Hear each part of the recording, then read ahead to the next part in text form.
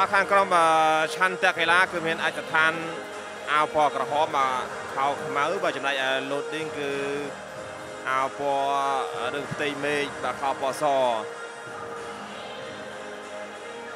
ក្រុមទាំងពីរសុទ្ធសឹងតែជាក្រុមមួយដែលឡើងពីវគ្គចែកពូលនៅក្នុងដំណាក់កាលទី1មកបាទត្រង់នេះគឺប្រុសម៉ៅបាទតត់មកជើងឆ្វេងទៅបាទប៉ះនៅមកគោលទី ទាញត្រង់នេះល្អមែនតើបាទគឺ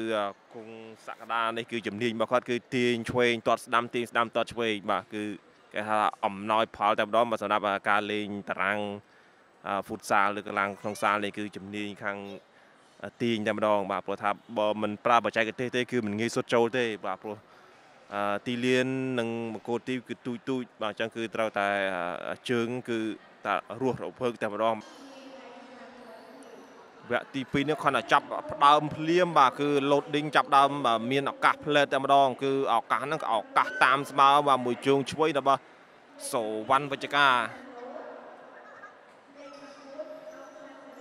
បាទតោះនេះ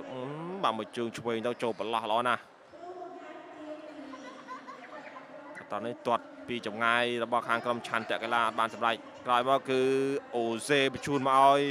បាទប្រធានក្រុមរបស់ឆន្ទៈកីឡាសុទ្ធបានសម្រេចនាំមុខជាថ្មី